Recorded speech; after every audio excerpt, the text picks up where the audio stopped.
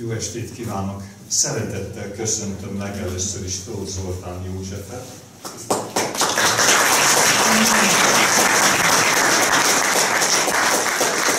És szeretettel köszöntöm Önöket is, akik elfogadták a meghívásunkat erre a mai estére. Bizonyára nagyon sokan tudják, hogy ki Tóth Zoltán József. Annyit mondjak csak, hogy jogász, jogtörténész, politológus, ennek a mai kormánynak az első évében államtitkár helyettes is volt.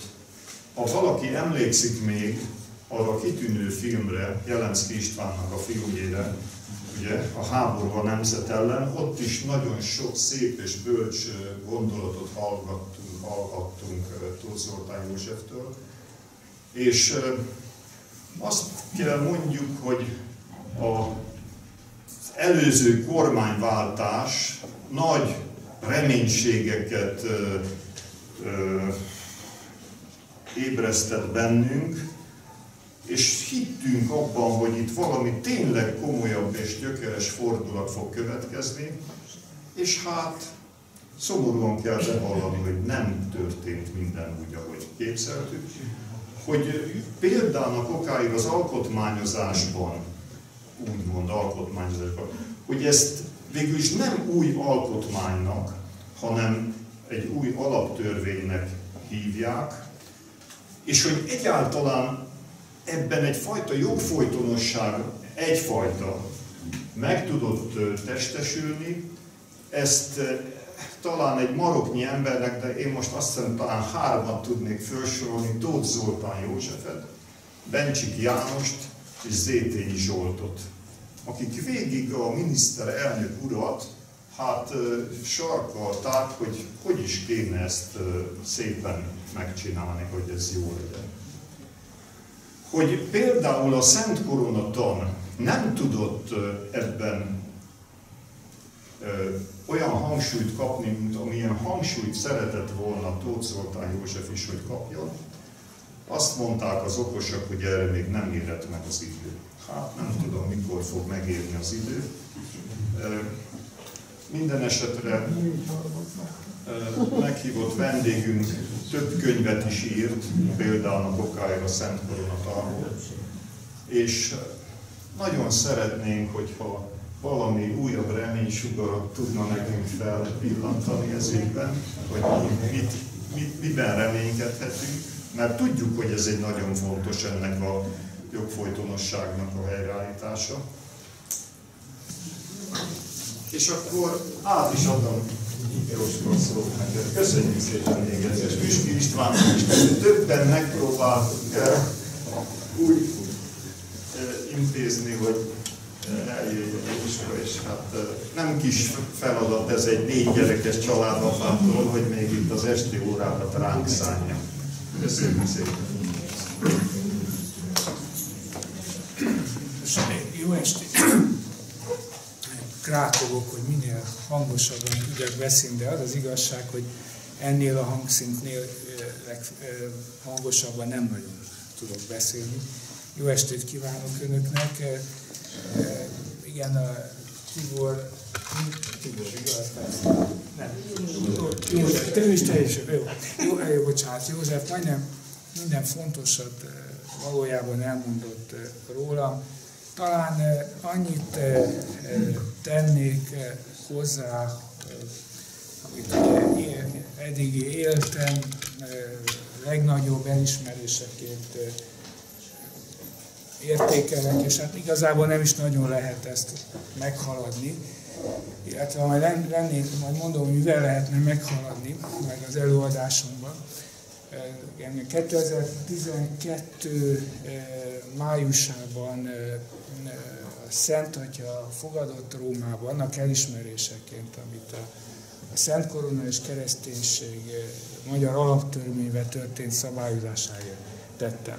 Hát ez talán ennyit magamról még, illetve hát állami, oktatok egyetemeken alkotmányjogot, alkotmánytörténetet, más dolgokat is, illetve, igen, illetve az államigazgatásban dolgozom, ha ott dolgozom az oktatás mellett. Egy darabig védkedtem is még a 90-es években. Nos, a mai estén tulajdonképpen több dologról szeretnék beszélni. Mindenről, amit Jóska felvetett. Így arról, hogy mi is az a Szent Koronatan, és ennek mi a jelentősége. Arról, hogy hogy viszonyul ehhez az alaptörvény, és ennek az egész alkotmányjogi, politikai, történeti hátteréről. Na most ez elég sok dolog, szerencsére van némi rutin, hiszen elég régóta járom az országot, és sok helyen tartottam az elmúlt tizenvalahány évben előadást, János nálatok is egyszer, meg vidéken, külföldön is, Ausztráliától, tulajdonképpen Svédországig szoktak meghívni erről előadást tartani. Nos,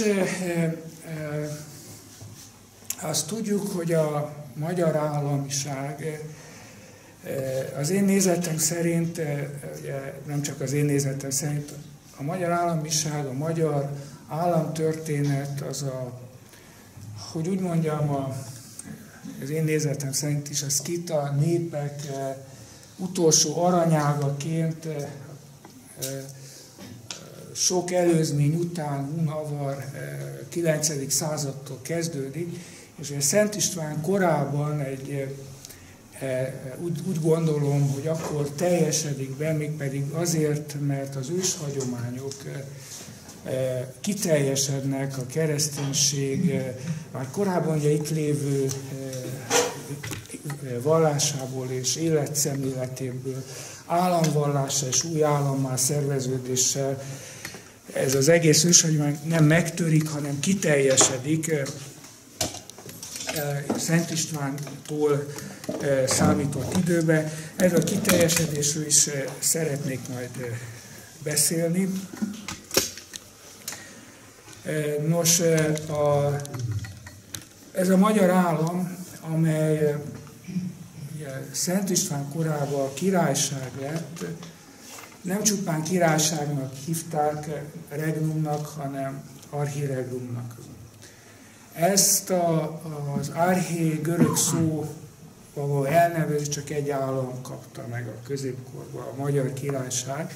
Az arché sok mindent jelent, szentet, ősit, főt, elsőt, tehát első királyság, főkirályság, szent királyság.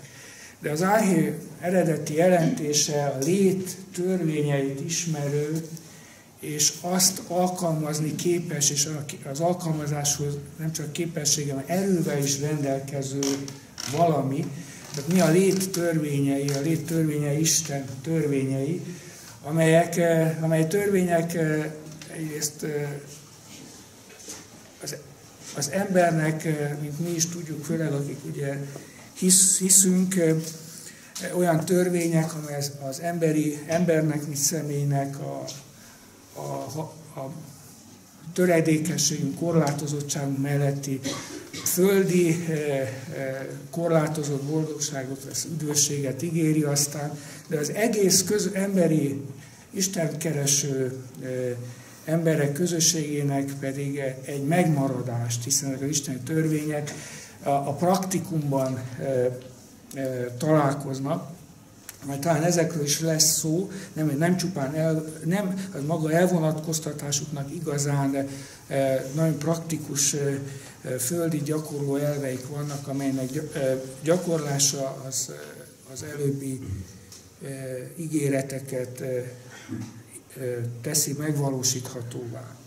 Most ez a magyar királyság, tehát archiregnum volt, a lét törvényeit ismerő és azt alkalmazni képes királyság, amelynek a királya ugye apostol, ezt tudjuk, de mit jelent az, hogy apostol? Az apostol, tehát az apostol azt jelenti, hogy ellentétben az apostolok utódaival, akik a püspökök a saját egyházmegyékbe, illetve a királyok, saját királyságukba. Hivatást, a, a, a hatalmat, ugye annak több rétesbűségét, több, több rész, több egészét egyházmegyükbe vagy királyságukba gyakorolják, Isten nevébe és Istenhez vezető célra, de maga az apostol az egy egyet, az egyetemes küldetéssel rendelkezik. És egyedül a magyar király apostol, hiszen még a 11. századi legendában is ugye a korona kérés vagy visszakérés történetében is ugye megnevezik, hogy a magyar uralkodó apostol, és egyedül Európában. És hát úgy összhangban is van ez ugye ahhoz, hogy a magyar királyság archíregnum.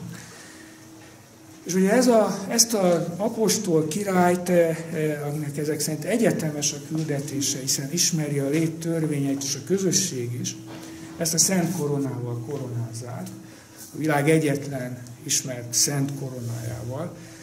És ugye a szent azt jelenti, minden, ami a szent jelzőt magán viseli, eh, hogy ott Isten közvetlen jelenléte valósul meg, az a személy vagy tárgy összeköti a teremtő és a teremtett világot, a, a makrokozmoszt, a mikrokozmosszal, a tökéletes, időtlen és térhez nem kötött harmónia világát, az isteni világot, a tökéletlen elmúló időhöz és térhez kötött világgal, ami mi emberi világunk. Ez az összekötés azt segíti, hogy ezek az árché, ezek az őselvek, az a létő Isten törvényei magunk és hogy rajtunk ezt a világ megvalósuljanak, illetve jelen legyek a világban.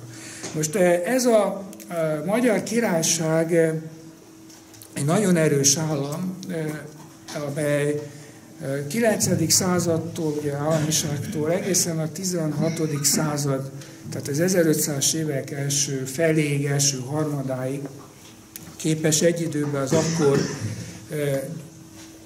jelenlő két világbirodalmat egy időben magától távol tartani, a nyugati császárságot és a keleti császárságot, sőt, nem csak, hogy távol tartja, hanem hanem egy velük eh, tőlük eltérő közösség és államszervezési modellt is bemutat. Ezekről is lesz hiszen ez maga a Szent Koronattal. És emellett a, a Szent Korona, emellett a Szent Koronatannak van egy, egy, egy létrejöttnek több oka van. Majd fogok erről beszélni, illetve már most is mondom, egyrészt az őshagyományban benne lévő közösség államszervező elv, ami a magyaroké és az összes úgynevezett skita népeké, aztán maga a Szent Korona jelenléte egy, egy olyan tényező, amiről beszélek, ami ezt a sajátos szervezést jele, megengedi, illetve lehetővé teszi. És van egy harmadik oka, és ezt már most kell mondanom, de majd erre is visszatérek. Ez a, a, a Szent Korona által megtestesített szakrális közösség, illetve a szakrális közösségek, világ, szakrális világközösségé szerveződő léttel szembeni fellépő, a 12.-13. században fellépő modernitás, szépen kibontakozik aztán az évszázadok során, és annak az egyik vezérlőelve a monetarizmus, és a szembeni védő vonalat, intézményeket állapít meg. Tehát három, alapvetően három eredete van ennek a magyar államszervezési elvnek, a hagyomány, a szentkorn és ez a védelem. És már most mondom, hogy ugye a monetarizmus ugye azt jelenti, hogy a, a hitelre alapozott eh, kamat nélkül eh, nincs eh, korábban gazdasági, aztán első kereskedelmi, aztán termelő, gazdasági élet, ugye, és most, amikor a monetarizmus globálisá válik, akkor azt jelenti, hogy nincs olyan ország, cég, sőt család, aki hitel nélkül nem tud működni. Na most ez egy hatalom, nem, nem, az üzlet és a hatalom, ez gyakorlatilag hatalmat szervez, és ennek a következménye, hogy üzletet és profitot szerez. És a profit ugye azt jelenti, hogy enyém a haszon, és minél a költségeket pedig ráterhelem az közösségre, illetve a környezetre. Tehát gyakorlatilag ez ellen, ezen a antilét, tehát a szakralitás elleni modernitás szervezési elve ellen is a Szent Korona tan intézményeket épít fel. Nos, tehát ezt azért mondom el, mert azt mondta, hogy a 6-7 évszázadon keresztül ez a magyar államiság képes volt két világ, területi világbirodalmat egy időben magától távol tartani. De aztán ugye hogy építkezik ez a monetarizmus? Ez úgy építkezik, hogy eladósít, két irányba adósít el. Az államot adósítja el, és az állampolgárokat. És mind a kettőt eladósította, az állampolgárokat általában az ingatlanaink keresztül, ugye modern fogalmakkal írunk, de a kezdete már visszamegy, majd beszélünk a 13.-12. században. Ha mind a kettőt eladósítja, akkor a harapófogó bezárul és szüret, tehát akkor egy új hatalom működik. Tehát gyakorlatilag ez történik, ez elindul a 12.-13. században, és a 14.-15. századra, aztán utána egyre teljesebben, ugye a két nagy eh, birodalom működik a 1350-es évek óta északon a Fugger, délen a Medici, majd aztán ezek, az egyik megeszi a másikat, de a lényeg az, hogy a magyar állam a Európában másodszorra bevezetett állandó arany és ezüst valutájáról az 1300-as évek elejétől egészen Mátyás király haláláig 1490-ig mérleg nyelve volt ezen pénzügyi birodalmakkal szemben, amelyek közben ez a monetáris technikákkal maguk alá gyűrték a német-római császárságot, Európát, és hát feltőkésítik a török birodalmat is. Na most eh, ez egy, eh, tehát nem csak területi birodalmakat tart távol, hanem a területi birodalmakat maga alá gyűrő pénzügyi birodalmakat is. Most eh, ezek a, aztán majd, amikor a magyar állam 1490 és 1541-42 között elveszíti ezt a nagyhatalmi európai rendszerszervező erejét, Ugye ez a mi igazságért, az árhia lét törvényeiért folytatott küzdelmünk, illetve minőségünk, az országon kívüli harcból egy katonai, monetáris és szellemi harcból egy országon belüli harcá alapul. És ugye ezt az önvédelmi harcot vívjuk, ugye 1490 és 1542-től napjainkig egyre rosszabb körülmények között. És ezt azért mondom, hogy ez a a Szent Koronára, az őshagyományra és a monetáris hatalom elleni szervezett Szent Koronatan intézményrendszerre akkor is védte a magyar közösséget, a nemzetet és az államot és a kultúrát, amikor már nem voltunk nagyhatalom, hanem saját önvédő harcunkat végül a 15. század végétől napjainkig. Most ez, ez a bevezető, mert akkor most a következő részben néhány mondatot szeretném, mert nem, nem 10-15 perc alatt el lehet mondani ezt a Szent hogy mi is, mondjuk 20 perc alatt, el lehet ezt 5 év alatt is mondani, meg kétfél évben is, tehát és ugye ehhez, amire még én szoktam előadást tartani, a politikai, történelmi küzdelmek, hogy ez hogy alakul ezer éven keresztül. De hát ugye ezt az alapokat kell tartani, és, és akkor még az alaptörvényről és annak okairól még nem is beszéltem. Nos, tehát mi is az a Szent Koronatan? A Szent Koronatan a magyar történeti alkotmány alapelveinek összegzése. Ugye tudjuk, hogy legalább két típusú alkotmány van, az egyik a kartális, ami akkor születik, amikor egy új állam születik, vagy pedig egy államon belül egy olyan modern forradalom tört ki, vagy külföldi erők exportálják, akár jakobinista, akár kommunista, amely a korábbi rendszert, a korábbi államiságot, annak szimbólumait kidobja, ugye a múltat végképp eltörölni különböző izmusai alap, alapján, és ugye ez nálunk 49-ben történik meg, ugye a kommunista típusú alkotmány alapelve, hogy ugye ami addig volt, az nem, hogy elfelejtendő a történeti magyar állam közjogi berendezése szimbólumai, hanem kárhoztatott valami. Tehát szinte 49-ben egy új államot alapítanak, tehát ilyenkor is mindent, ha eltörlünk mindent, akkor ugye új kezdés van,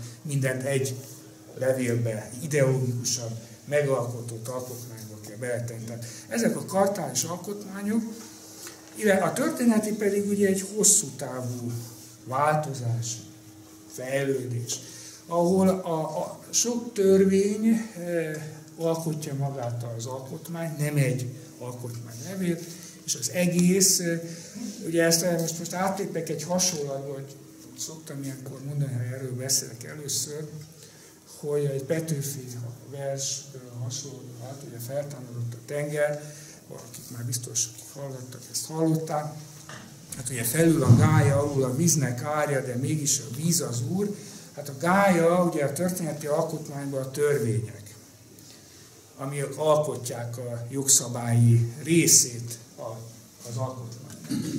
A, a víz, az pedig a szokásjog.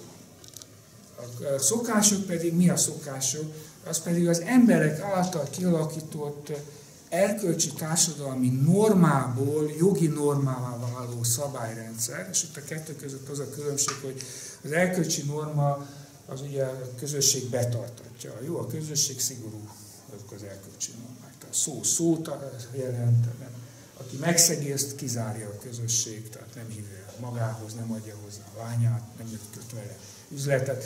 Tehát, de ha ezt már állam által kikényszeríthető, bár nem törvény által szabályozott, tehát jogi normává válik, mert a bíróságok már alkalmazzák ezeket az erkölcsi meg szokásjogi normákat, akkor ez, ez már egy szokásjog lesz.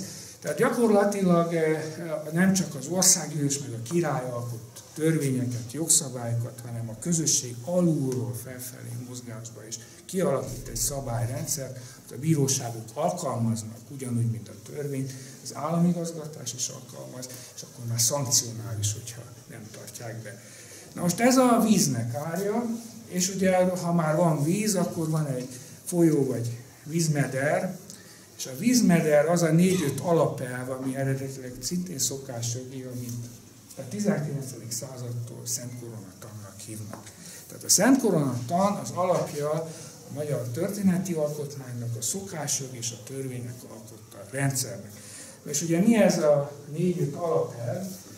Ezt fogom elmondani most eh, röviden. Tehát eh, eh, az első alapelv ugye ott kezdődik, ahol minden közösség, hogyha a közösség állandó megszervezi magát, hogy nevet ad magának, majd aztán utána azt a rendszert állapítják, hogy ki gyakorolja a közösségen belül a hatalmat és hogyan. Tehát ez az első, tehát a hatalom, ugye kié a hatalom a közösségen belül. És ugye ennek történelemben alapvetően két válasz született. Az egyik ugye a, a, a fejedelmi királyi hatalom, amely onnan ered, hogy Isten, Isten a, a, a mindenható Istennek a hatalmát közvetíti az uralkodó, és a személyébe köti össze a közösséget a, a, a, az Istennel, és a hatalmák forrása is ez, tehát ezt nevezik fejedelmi vagy királyi szuverenitásnak. A másik el, remélem nem rekedek be útközben.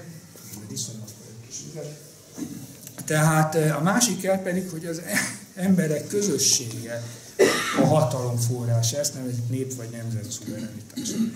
Na most mindenképpen, akárhogy is nézzük, ezen, bármelyik szervező elvről van szó, az emberé a hatalom teljessége. Akár a király által, jaj, nagyon kedves, köszönöm szépen. Ez idő átgondolni az eddig elmondottakat, a lehetőség. Na most aztán, tehát mind a két elvni az embereké a hatalom teljessége. Na most a magyar, a magyar modell egészen más. És itt jön a, a Szent Korona egyedüli valósága. Mert Magyarországon a hatalom forrása, különösen ugye ez majd Árpádház 13. századtól egynél nyilvánvaló, hogy amikor a szakrális Kurul dinasztia eltűnik, nem, nem véletlenül mondom, hogy kihal, eltűnik a magyar közéletből, és a helyére a korona lép, de előtte is már a korona külön valósága az uralkodóhoz képest, Tehát a hatalom forrása nálunk az a Szent Korona. Tehát ő a szuverén. Nem a király és nem a nemzet, most összesülítve 800 éve. Most ez, ez azt jelenti, hogy Magyarországon a hatalom teljessége nem emberé, hanem a Szent Koronája. Szent Korona, ugye Szuzanya koronája, a világ királynőjének és Magyarország királynőjének koronája. Tehát Magyarországon a transzcendens metafizika, a mindenható Isten a szuverén. Hiszen ez ráadásul ugye egy szent föld, szakra tanulja, regnum marianum. Tehát itt látjuk, hogy a kettő összefügg egymás, és ennek szakrális, meg közjogi következményei is vannak. Tehát gyakorlatilag azt jelenti ez a dolog, hogy Magyarországon nem emberé a hatalom teljessége, hanem Istené. Most ebből mi következik hatalomgyakorlás technikailag? Hogy meg kell osztani a hatalmat. Meg kell osztani a hatalmat a király, a nemzet között, és ennek a megosztásnak viszont már őshagyomány háttere is van, hiszen a vérszerződés hagyományában is ott van, hogy a, a, fej, a, a, a, a fejedelem és a törzsek vezetői közösen gyakorolják a hatalmat, és az is benne van, hogy mindenki annyit, amennyit hozzá tesz. Tehát valahol a jogok és a kötelezettségek korai megfogalmazása jelenik meg, tehát mindenkinek annyi joga van, amennyi kötelezettséget vállal. Tehát nem a, valakinek sok joga van és kicsi kötelezettsége, többieknek meg sok kötelezettsége és kis joga. Tehát a fejedelem és a, a törzsek tanácsa leszármazói, és ugye majd István király mondj, felsorolja ki még, tehát tulajdonképpen mindenkit felsorol, együtt gyakorolják a hatalmat. Tehát, ha nem az emberi a hatalom teljessége, akkor nem lehet egy kézbe a hatalom. És ennek ugye már őshagyomány, eh, honfogláskor, de más kita népeknél, hunoknál és pártosoknál is hasonló elvek vannak. Tehát, de ez, ez kiteljesedik, ez az, össz, itt, itt ér össze a két elv, a Szent Korona meg az őshagyomány elve, és Magyarországon a hatalmat eh, nem csak úgy osztják meg, hogy és ez, azért, ez a más Európához, a késői Európához, tehát nem a modernizáló Európához képest is, hogy vannak különböző hatalmi ágak, hogy van, ugye megosztják a bíráskodást, mint hallják, a végrehajtó hatalmat, akkor a, tő, a, a törvényhozó hatalmat, ami ugye gyakorlatilag a reneszánsztól maig a modern jogállamiságnak is az elve, hanem emellett, hogy vannak külön hatalmi részek az egész hatalomban, a magyaroknál, még had, a, had, had, a hadászat, meg a pénzügy külön hatalmiák. Ez egy tekinthető egyfajta vertikális megosztásnak, de van egy horizontális megosztás, hogy minden hatalomban egy, egyszerre eh, részesedik a fejedelem, a király, és mint egy almaként szétvág, ugye az alma a gömb a hatalom teljességét jelzi. Eh, és minden hatalmi ágban másrészt az önkormányzatok. Tehát mit jelent az, hogy a bíráskodásnál 48-ig vannak királyi bíróságok és vannak önkormányzati bíróságok. A vármegyéknek, a szabad királyvárosoknak, különböző etnikumoknak, a szászoknak, a székeknek, a kunoknak, a horvátoknak. Az ügyek is eloszlanak, mert azt mondják, hogy vannak olyan polgári meg büntető ügyek, amit a közösség saját maga között meg tudja oldani, hiszen mind, a önkormányzásnak az a legnagyobb csúcsa, ha már bizonyos büntetőügyeket saját maga között az emberek meg tudják oldani. Hiszen a magyar önkormányzás 13. századi bármelyik is önkormányzatnak is az eleje, ahogy a bíráskodási jogot megkapják bizonyos ügyekben a közösség.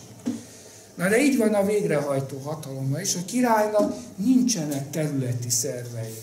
Nincsenek területi szervei a, a székelyeknél csak a csúcs, a székelyek grófia, a Vármegyében a főispán, de az egész intézményrendszer maga az önkormányzat. Tehát az uralkodó nem tud minden parancsóra végrehajtatni, mert az önkormányzat intézmények nem az ő intézményei, hanem az önkormányzat. Tehát itt egy kettősség alakul ki, és ennek akkor lesz jelentősége, hogyha az uralkodó monetáris függésbe kerül a Jagellókortól, Habsburgtól végig, mert attól még, ha az uralkodó eladósodik, és a fuggerek, meg nem tudom kik fizetik, attól még az önkormányzat maga a saját intézményrendszerét működteti. És az uralkodó csak akkor tudja végrehajtatni az akaratát, a kompromisszumot köt az önkormányzatokkal. És ez így van a bíráskodásban, a törvényhozásban is, a hadászatban is, a pénzügyekben is, és a végrehajtásban is. Tehát itt egy olyan mell, itt ezt szokták mondani, hogy nem csupán aláfölé rendeltségi modell van, hanem egy mellérendeltségi modell is. Tehát, és éppen ezért a kettő együtt, ha mind a, mindenki a helyén van, akkor, akkor nagyon erős az állam. De hogyha a, a király függésbe kerül, eladósodik, vagy éppenséggel maguk a bankok teszik királyá, még az önkormányzati rendszer az egész államiságot védi, végig. Tehát ez volt, azért mondták, hogy a vármegyék, meg az önkormányzatok az, az, az alkotmányosság és a nemzet, meg a függetlenség forrás, e, védőbástyái végig. A modern korban is egyébként 1967-től 1944-ig is. Tehát összehasonlíthatatlan nagyobb önkormányzati hatalom volt, még a modern polgári államban is, mint most. Mert ennek van egy hátsó, egy alapdolga, egy alapfeltétele, a pénz. Kinél van a pénz? Ha állam osztja vissza a pénzeket az önkormányzatoknak, akkor függő viszonyban. Ha az önkormányzatoknak van saját pénze, sőt az állami adókat is ők szedik be, és adják fel a központnak, mint ahogy Magyarországon történt, az azt jelenti, hogy más a helyzet. És itt jön, tehát az első tétele a Szent annak, hogy a koronája a hatalomtelsége, nem az emberi. Ebből az következik, hogy megosztott hatalom van, amely nem csak vertikális, hanem horizontális. Most ha a hatalom teljessége a szent koronái, akkor a, hat, a, a koronának van még egy külön jellegzetessége, ami csak így oldható meg, hiszen a magyar, ezek szerint a magyar államszerkezetben nem csak az uralkodó államfő van és a nemzet, hanem van egy harmadik, illetve az első, a szent korona. És a struktúra úgy néz ki, hogy a hatalom forrása a korona, az elsődleges gyakorlója a nemzet, aki a koronázásra bevonja a királyt a hatalomban. Nem, mint Európában. A király a szuverén, és ő osztja meg a nemzettel a hatalmát, mint Angliában. És ha ő osztja meg, akkor vissza is veheti. Itt nem lehet vissza, mert más az irány. Mert nem is az övé, meg nem is ő, ő, a kezdeményező. Tehát ez, egy, ez, ez is visszavezethető, ugye, ahogy a, a vér szerződésre, vagy a pusztaszeri végzésre, ugye, ugye hogy a, a, az Árpád dinasztiából, a Szakrás dinasztiából lesz, választjuk a királyt, de mi választjuk. Tehát onnan, de mi választjuk. És amikor dinasztikus kor lesz a Habsburg korszakban, akkor is megmarad ez, hiszen esküt kell tennie az uralkodónak arra, hogy nem ő a hatalom teljessége, hanem a kormány, és megosztott hatalmi struktúra van, különben nem törvényes uralkodó. Na most, és mi a lényeg, aminek igazán aktualitása van? Ugye ez az anyagi helyzet. Gondoljunk el, ez a harmadik tétel a, a Szent Annak. Gondoljuk el azt, hogy van egy páncélszekrény. A páncélszekrény őrzi a nemzet aranyát. Az első kérdés, hogy kinek van kulcsa a páncélszekrényhez. Na most a mi leosztásunkban két kulcs van. Egy a királynál, másik a nemzetnél. Na most tehát kinyitni csak egyszerre lehet a páncélszekrényt. A másik kérdés, hogy kivehető el minden. Tehát magyarán, most lefordítva, a király mindent eladományozhat, privatizálhat. Illetve jelzálogként felajánlhat hitelnek. Az is mindent kivenni. Vagy pedig nem. Hát ugye, és itt Magyarországon a 13. században, tehát az 1200-as években, második András és negyedik Béla uralkodás alatt, és ez e, vatikáni forrá, e, levelekből tudjuk, amikor a, maga a pápa írja a királynak, hogy nálatok az a szokás, hogy vannak úgynevezett, benne van elidegeníthetetlen koronajavak.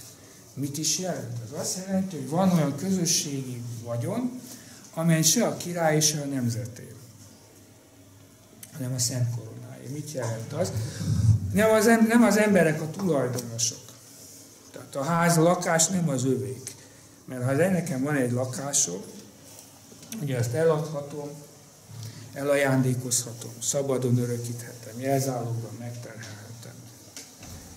Ha én vagyok a tulajdonos. De ha nem vagyok én tulajdonos, csak bérlő, birtokos, akkor ezeket nem tehetem meg. Na most itt, ha vannak elidegeníthetetlen koronajavak, az azt jelenti, hogy az a szent koronáé, a király meg a nemzet a birtokos. Kihalásig. Tehát úgy használja, mint a tulajdon, gondoskodik róla, mint a bérbevet lakásról. De addig tart a bérleti viszony, amíg a család ki nem hal. Tehát gyakorlatilag úgy kell kezelni, mintha tulajdon lenne, csak nem adhatom el, nem örökíthetem szabadon, és nem terhelhetem meg jelzáloggal. Tehát gyakorlatilag éppen azért második András korszak, egy nagyon kritikus korszak, tehát ezek az izgalmak, hogy miért alakult ez így ki. Hát ha lesz idő, akkor visszatérünk rá, de ez a lényeg az, hogy kialakul ez a kategória, tehát van egy olyan vagyontömeg, amelyhez nem lehet eladni, elajándékozni, jelzáloggal terhelni. Tehát nem vonható ki, mint létfeltétel a királyságból. Tehát mondjuk van egy olyan állami vagyon, ami nem forgalomképes, lefordítva a mai viszonylatokban.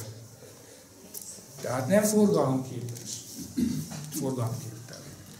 Na most ez, ez, ez valóban ez nagyon, most akkor már itt vagyunk, néhány dolgot el kell mondani. Második, András kora nagyon hasonló, ugye akkor adják ki az aranybullát, a magnakartát Angliában 1215-ben. Tehát ez az az időszak, amikor elindul egy új, a pénzhez is köthető, a hitelezéshez köthető új hatalmi szerveződési elv.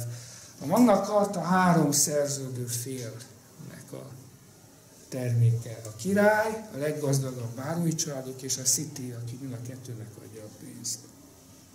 A City egészen 8. Henrikig, tehát a 16. század első felé kontinentális bankok fiókintézménye. Bardi Peruzzi, aztán utána Medici, és részben Fugger. 8. Henrik, amikor ebből kiszakad, és csinál, kezd egy új birodalmat építeni, a londoni City-t. Na most a Magyarországon pont ellenkező mozgás van. Már Gertrud királynő halála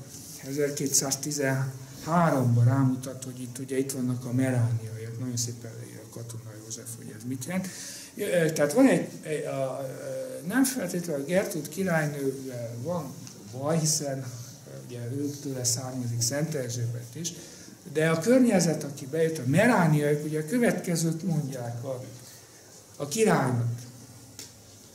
Te király, hát te vagy a szuverén. Akkor te vetheted ki az adókat. Egyedül. Megmondhatod, hogy mennyi adót, kitől, mikor és ki szedi be. Nézd, a Franciaországban már 7. Lajos, az 1150-es, 60-as években, tehát fél évszázaddal korábban már bevezette azt a rendszert, hogy nem ő adózik, adóztat, hanem a bankokat bízza meg, hogy pénz, pénzváltókat bízza meg, hogy adóztassak. Ő megmondta, nekem ennyi pénz kell, odaadjátok, ti pedig oda, én a szuverén hatalmat átadom nektek, ti meg úgy szeditek be, és annyit, amennyit akartok. Tehát ugye ez a mostani hasonlóság is ugye banki adó. Nem a, de a devizat az egy más történet, de amikor a, ugye a, a banki, bankok adóznak, de a költségeket átmerítek. Tehát ez egy kora középkori ötlet, modernizált. No, tehát, és, ugye ez, és akkor ugye hát magyarok ezt nem nagyon csinálták, ezért nem magyarokat és nem keresztényeket hozott be. És ez az aranybullában is megjelenik. És az aranybulla, ez ugye megölik ugye Gertrud királynőt, aztán jön a, a keresztes agyát, ami már egy dicsőség történet, de nem akarom, megint az előadás erről tartana. Lényeg az, hogy következtében a magyar király nem, az Jeruzsálem királya is. Tehát én a Nemzeti Vizit című műsorban tavaly idén leadták ismétlését. Tehát tavaly májusban, hogy erről beszéltem, és akkor mondtam, hogy a magyar király Jeruzsálem királya. És ugye ezt a, a, a tévében volt, de a Kossuth adóba is leadták vasárnap, ez, ez pént csütörtökön, vasárnap, vagy pénteken is tudom, és onnan ezt az egy mondatot kihagyták. Akkor is egy rabbi találkozónk volt egyébként, és ezért, ezért, ezért, nem ez, ez így történt, mert, mert nem Jeruzsálem Magyarország királya, hanem a magyar király Jeruzsálem király, és ez nem tetszik. Na ez, ez megtörtént, azért mondom el. De ez viszont a magyar királynak egy univerzális hatalmat is mutatja az apostoli jelző mellett. És ugye ezt a magyar király rogán negyedik Károly viselik az uralkodók. Nos, tehát, de e, aztán jön ugye különböző gondok, az aranybúla, az aranybúla nagyon sok fontos dolgot e, e, szabályoz, tehát a jogokat és kötelezettségeket ezt nem akarok itt sokáig leragadni, tehát a Magna Carta csak a három szerződőfél jogait, kötelezettségeit szabályozza. A Citit ki is emeli az angol király hatalmáról máig is. A magyar király, az aranybulában minden társadalmi réteg joga, kötelessége benne van, és úgy, hogy mindenkinek annyi joga van, ami kötelezettsége. És senki fölülről nem bolygathatja ezt. Hát ugye ez azért is van, mert a pénz, hatalom, a monetáris hatalom az inkább jogokat szeret. A profit is erről szól, a haszon az enyém, a költség a tiéd. Tehát e, e, az jogokat szeret, de hogyha egy rendszerben ez fölbúl, akkor többieknek, ahogy csökkennek a jogaik, úgy nőnek a kötelezettségeik egy egységes rendszerben. Intézményeket állapít meg, ami ezt, eh, kor, kor, ami ezt kor, eh, korlátozza, tehát ami ellenőrzi a királyi hatalmat, ugye évenkénti fehérvári gyűléstől kezdve, senki bírájától el nem vonható, és így tovább. És van egy pénzügyi része is a aranybólának. Először is ugye nem lehet pénzt rontani, nem lehet elinflálni a pénzt. Kettő, idegen eh, súlyváltók, Ugye a só és az arany az egyenrangú volt akkor, a só volt az egyik legnagyobb üzlet ebben a korszakban. A idegen sóváltók csak a határon működhetnek. Két helyet szabályoz az uralkodó ellenőrzés mellett. Tehát nem jöhetnek be idegenben magyarán. Akkor a, a, a, a király által magánadományként a tanács beleegyezése nélkül adott, eh, külföldieknek adott földeket vissza kell venni. Aktuális kártalanítása, tehát a beruházott, akkor ezt a beruházási költséget meg kell kapni, a kártalanítása azt jelenti, de utána lehet elmenni. Tehát aztán ugye az adókat lehetőleg nem pénzből, nem terménybe, ma ez is szorítsa ki ezt a monetáris dolgot, és akkor végül megjegyzi, hogy majd állampénz zsidó és Mohamedán nem kezelhet. Tehát így, tehát, vagy Mohamedán és zsidó, teljesen mindegy. Tehát a lényeg az, hogy itt már van egy ilyen felütése a dolognak.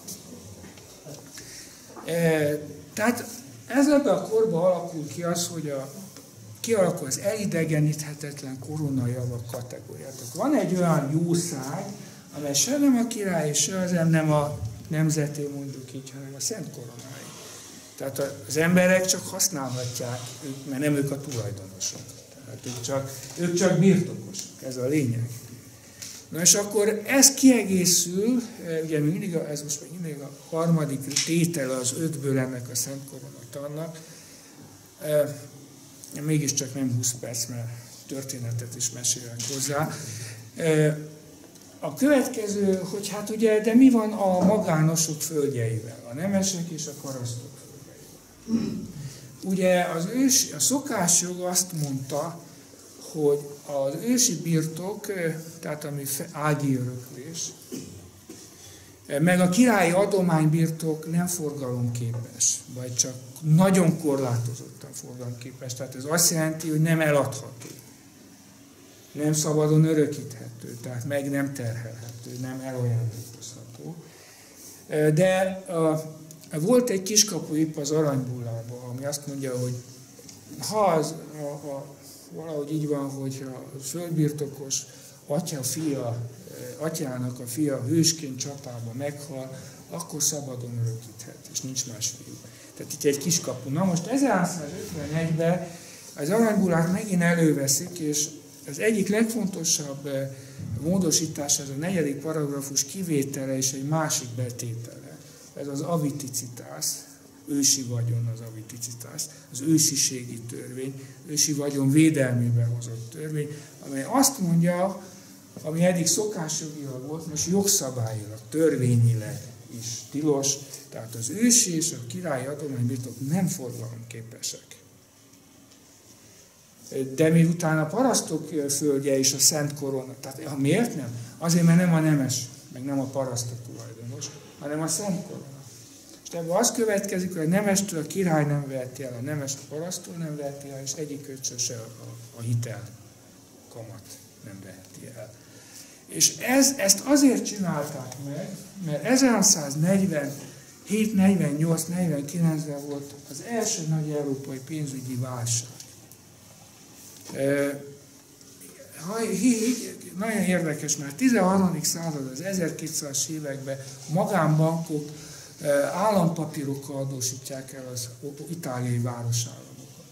Mit jelent ez? Az azt jelenti, csak hogy lássuk, hogy mennyire előre haladott ez a folyamat. Ezek a, a pénzintézetek sok minden szedik a pénzt. Ezek a déliek, meg az északi Hanza, a kereskedelemből, a távolsági kereskedelemből feltétlenül, illetve a keresztes hadjáratoknál a logisztikai háttérbiztosítását nem ingyen csinálják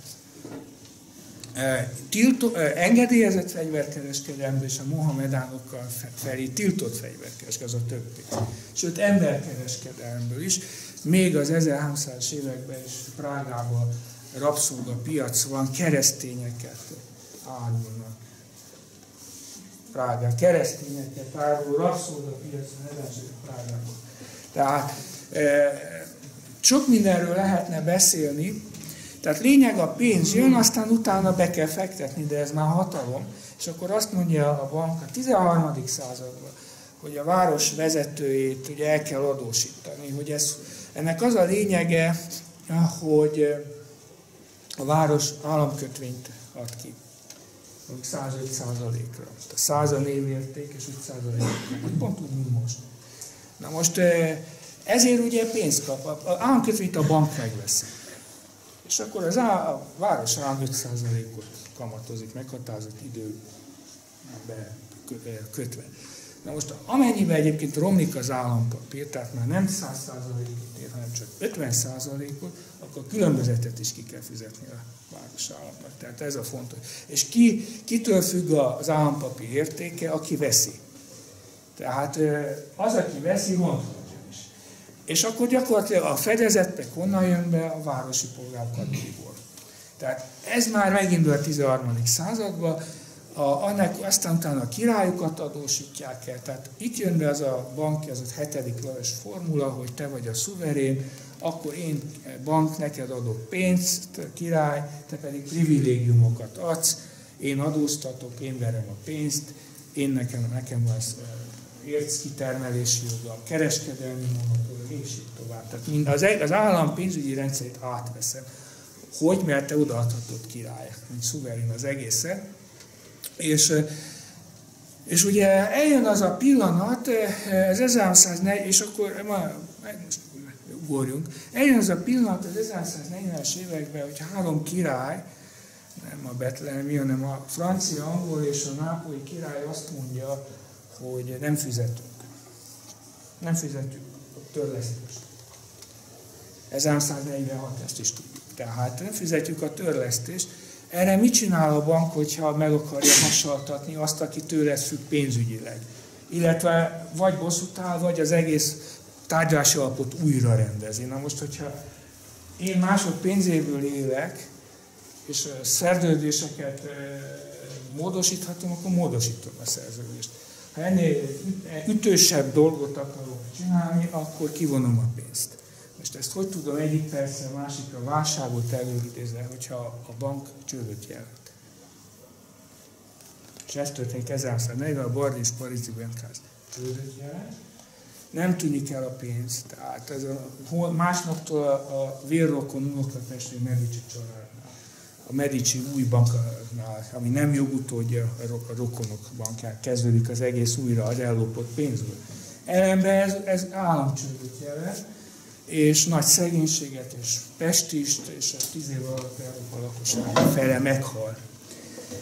Na most ennek, ennek ellenhatások vezetik be a ősiséget 1351-ben, tehát nem forgalomképes a földbirtok. Nem földtulajdon, hanem földbirtokos, ezért földbirtokosok vannak Magyarországon. És ugye ennek, ez tovább, majd visszatérek ehhez az egész kérdéshez, mert ugye a Nagy Lajos birodalma tulajdonképpen arról szól, hogy aki, a, a, ez a mellérendelési elv, ami alapján épül a magyar állam. Ez a kicsi egységtől a nagy egységekig is megvalósul. Először is ugye ott kezdődik, hogy a vérszövetség, szövetség a mellérendelés ellen a törzsfőnök, törzsek között. Aztán e, ugye a Hungária igazából. E, a hét törzs, aztán ugye ezek a törzsek, ez, ez, a honfogás után ez a törzszövetség szövetséget köt a rokon népekkel előbb-utóbb, a székelyekkel, hunokkal és így tovább mellé. Aztán utána a többi néppel, országon belül, Szentkona országán belül, vagy aztán után kívül. Tehát ez egy mellérendeltségi szövetségi viszony, ahol azt jelenti, hogy mindenkinek annyi joga és kötelezettsége van, mint a, amennyi, amennyi kötelezettsége van. Tehát így a, a nagylagos birodalom azt jelenti, hogy aki ebbe a monetás rendszerből ki akar jönni, az Magyarországon vagy valutauniót köt, Csehország, vagy personáluniót, Lengyelország, és így tovább.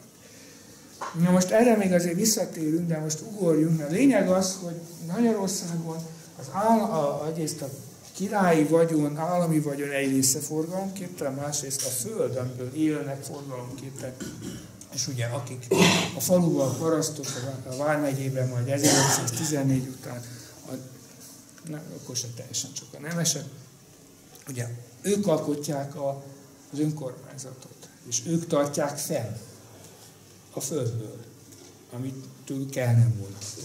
Tehát gyakorlatilag olyan zárt egzisztenciális biztonsági rendszer van, amely biztosítja az államot, és erre állam fennmaradását, mert saját pénzük van, és a pénzforrás nem elvonható.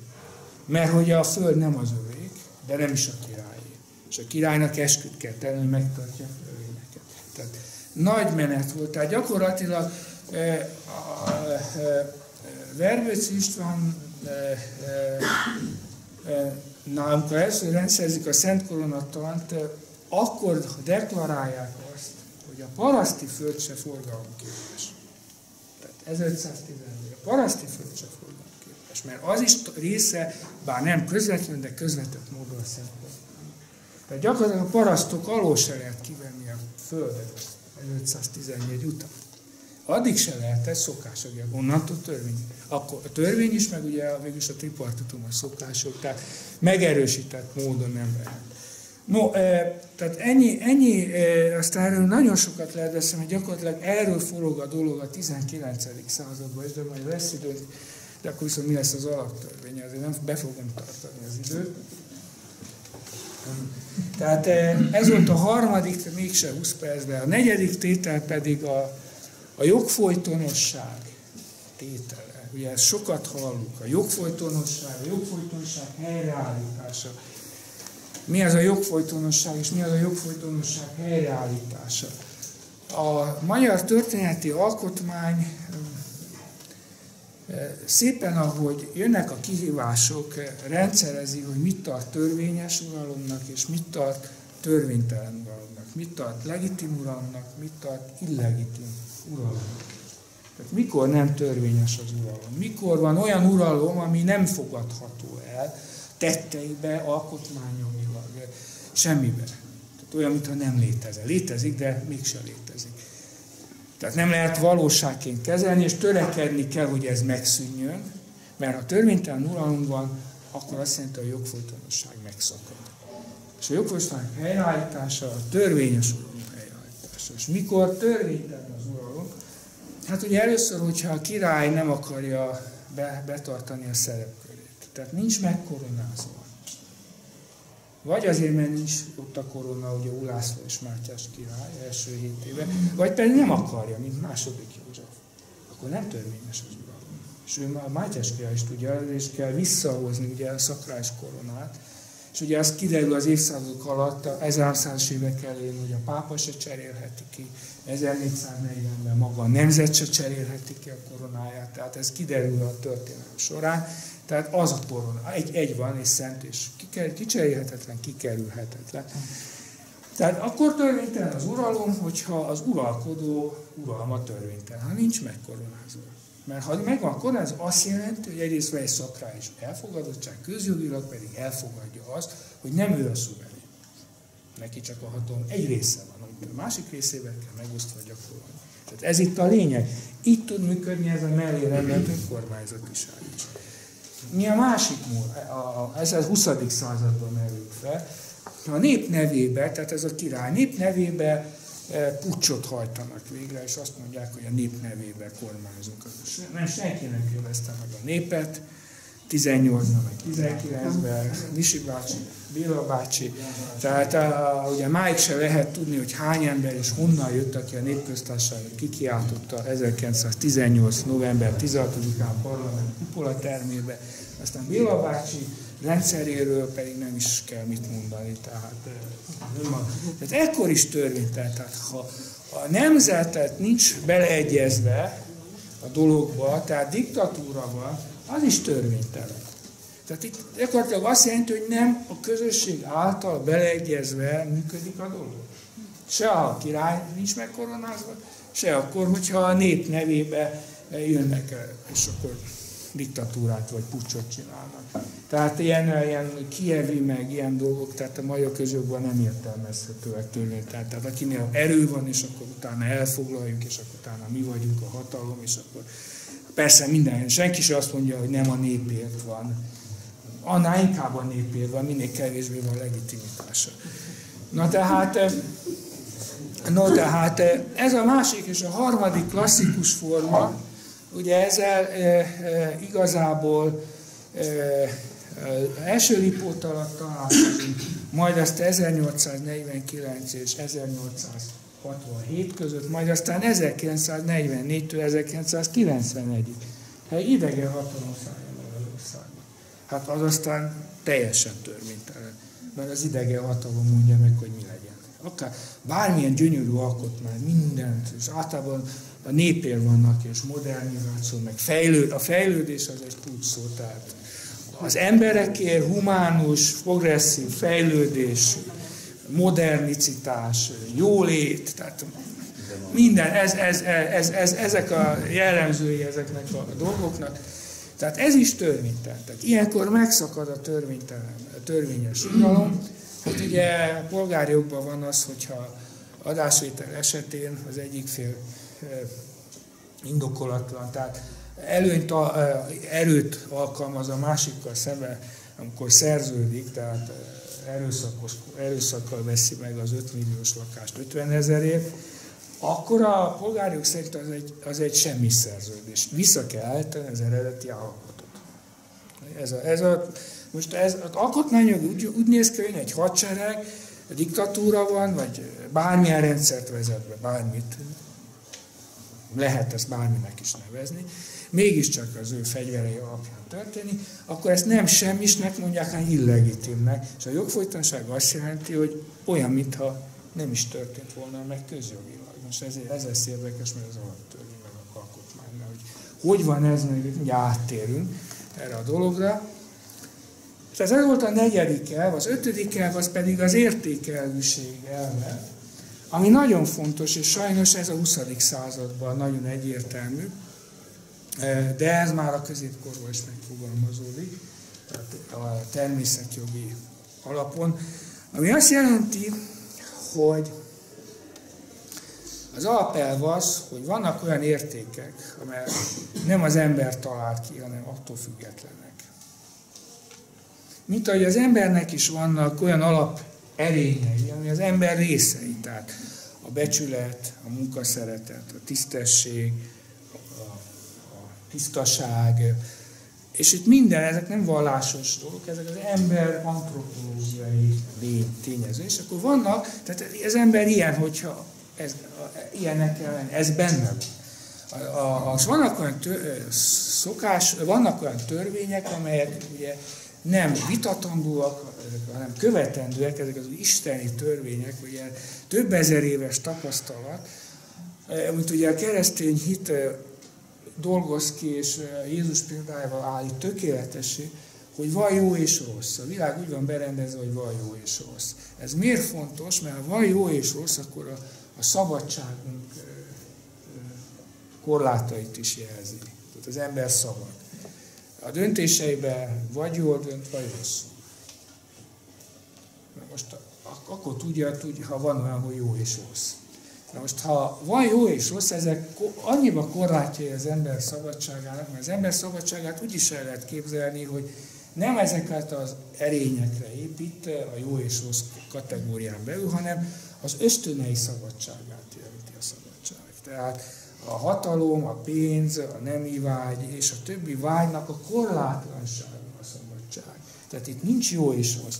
Tehát ha van jó és rossz, akkor is van ösztönszerűség mindennek. Csak van egy határa, tolik határ, és lehet tudni, hogy hol lépi át az ember. Na most az értékelőség azt mondja, hogy ezeket a tolik határokat, ezeket az értékeket kell passzintani a törvényeket. Tehát akkor jó az ember alkotta a törvény, ha ezeket az örök értékeket figyelembe veszik, amikor hozzá, tehát a jó és a rossz kategóriát. Ha van jó és a rossz, akkor közjó is van. Ha van közjó, akkor az azt jelenti, hogy a kötelezettségek és a jogoknak egyenlő arányba kell lenni, hogy mindenki számára megvalósuljon az a jó, ami végsősorban Isten a teljesség. De e, Isten nélkül is már töredékesen megvalósítható ez az elvrendszer, csak töredékesen, tehát kell egy felfüggesztő pont. Mert ez, ez, ez ha, ha van jó és rossz, akkor beszéltünk igazságról is. Mert nem, nem, az igazság megint egy arány is, egy, egy viselkedési arány. E, Istennel viselkedési arány az állam és az állampolgár és az emberek közt. Tehát megadjuk azt, ami neki őt illeti. Ez az igazságosság. És mi is elvárhatjuk azt, ami minket megélt a másik embertől, a tisztelet, az államtól pedig szintén egy, egy, egy összetartozási viszony. Mit adok én az államért, a közösségért? És az állam, a közösség mit ad nekem? Tehát ez, ez egy igazságossági elv, ami csak akkor működik, hogyha tudjuk, hogy van jó és rossz, és ezt közjó eh, is megfogalmazható. Na most eh, az, ennek az ellentéte az a, az értékmentes szabadság. Eh, a magyar modern jogállamiság 1990 után az Alkotmánybíróság döntése alapján azt mondták, hogy a magyar demokratikus jogállamiság nem érték alapú. Tehát nincs értelme a jónak és rossznak. Nincs értelme az igazságnak. Erre mondta, ezt kimondta az Alkotmánybíróság, erre mondta a bíróság azt, a legfelsőbb bíró, bíróság, hogy Magyarországon a bíróságok nem igazságot alkalmaznak, hanem jogot. Na de várjunk csak, tehát itt, itt akkor itt valami gond van, mert ö, ö, tehát mi itt a gond? Ugye egyrészt, hogyha nincs érték, tehát neutrális, azt mondja semleges, hát olyan nincs. Tehát van vagy, van vagy, vagy rossz, vagy jó. Semleges nincs. Na most vegyük, hogy azt mondja, hogy van semleges, tehát ha nincs jó és rossz határa a szabadságnak, akkor a szabadság mértéke mégiscsak a vágyak, az ösztönök szabadsága. Tehát nincs korlátja, a jognak nem szabad korlátozni az én nemi szabadságomat. Akár az én hogyha én azonos neművel akarok házasságba lépni, mint ahogy most bevezetik április 1 Magyarországon, Európában első Nem tudom, tudják-e? Tehát április 1 Magyarországon első között bevezetik ezt, hogy azonos neműek között mindjárt elmondom. Azonos neműek, tehát emberekről van szó. Nem, majd mondjam, mert akkor mondom. Tehát az új polgári törvénykönyv azt mondja, de aztán vissza, de, ez milyen szerintem alaptörvény mert ott épp definiálja a házasságot, két különböző nemű és, és akkor az erre a család. Az új PTK azt mondja, hogy az élet, bejegyzett élettársi viszony jogilag azt jelenti, mint a polgári házasság. házasság. Tehát mind vagyonjogilag, mind házasság, mindenféle jogilag a bejegyzett élettársi viszony egyenlő polgári házasság. Ugyanaz jogilag. Öröklésbe és a felek osztoskodásával és így tovább. És bejegyzett élettársi viszony ellentétes, azonos neműek is létesíthetnek. És akkor még egy kérdés van, hogy örökül, örökbe fogadhatnak-e ez azonos neműek. Ez a másik. Fogadhatnak, mert erre már van bírói precedens. Tehát a bírói jogalkalmazás engedi. Tehát de facto be van vezetve Magyarországon. Na, ez csak egy zárója, de ez még mindig a, a, ez a jó, tehát ez azért, ez azért érdekes, ez azért érdekes, mert ugye a másik el, és itt már a mai korszakról is beszélünk, de is, ez is a Szent Koronatan az értékel, a, a mi modern jogállamiságunk a, a egészen 2012-ig az alaptörvény vezetések alkotmányjogilag is neutrális. Tehát azt jelenti, hogy a szabadság a, a, a vágyakra alapoz, ami azt jelenti, hogy a jogszabályt nem engedhetik meg, hogy akár a, a nem életben, akár a vagyonszerzésnél, akár bármilyen ösztönök szabadságát nem lehet korlátja. Mindenki lehet bárhogyan milliárdos. És mivel nincs igazság jogilag, ezért nem lehet azt mondani, hogy az igazságtalan, hogy ugye nagyon keveseké a, a vagyon nagyon nagy része. Nem értelmezhető ez a jogilag, mert nincs olyan, hogy igazság jogilag. Na most ez azért érdekes, mert ugye vannak az emberi jogok, ugye meg minden modern alkotmánynak az alap részei. De most ennek, hogyha ha, ugye ennek a két anyajogja, anyajoga az emberi jognak az élet, ez való jog és az emberi méltósághoz való. Erre épülnek ki a szabadságjogok, meg a gazdasági, meg minden más jogok. Tehát ez a két jog. Na most, ha az emberi méltóságnak és az élet joga nincs értékhez kötve, akkor ma még tilos a, a, az aktív eutanázia, a passzív az már, meg az abortusz, az oké, okay, ez meg ki van pipálva. Bár itt is az alaptörvény azt mondja, hogy az ember fogantatásától védi. Ez van az alaptörvény. De ugyanakkor az abortusz hát egészen liberálisan engedélyezett. Tehát itt is van némi, hogy úgy mondjam, úgy érzem, ellentmondás. Tehát, de, de, de, de ezt tovább lehet fokozni, mert például az emberi méltóság jogánál ma még tilos csipet beültetni.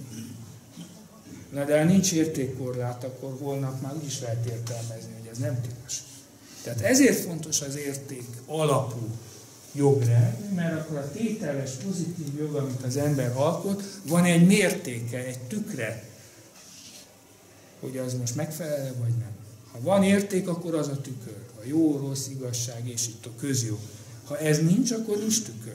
Akkor ezt a régi elavult bölcsek azt mondják, hogy ez jogi zsarnokság. Mert a jog úgy értelmezem, ahogy akarom. A még, még elavultabb bölcsek azt mondják, hogy ez maga a zsarnokság. Tehát, tehát ez, ez, ez, ez a dolog lényege. Na, akkor meg is beszéltük a Szent Tehát gyakorlatilag a korona a szuverén, megosztott hatalom, és e, e, van a koronák tulajdona, amely egy forgalomképtelen vagy korlátozottan forgalomképes e, vagyontömeget jelent, ami azt jelenti, hogy egzisztenciálisan nem lehet mindent elvonni, és tehát a, a banki hitel monetáris hatalomnak nagyon kemény gátjai vannak.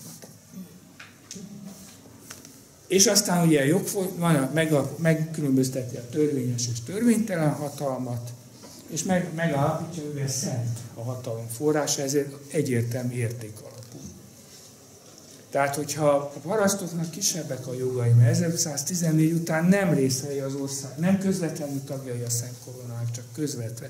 Tehát védelme alatt állnak és jogaik vannak, de nem, nem része, nem, nem, nem, nem tagjai az például. Hanem őket úgymond a földbirtokos képviseli. Akkor viszont a kötelezettségek is lejjebb vannak. Tehát nem kell katonáskodni, és nem kell katonai költségeket fizetni, ami a nemesnek viszont kötelessége.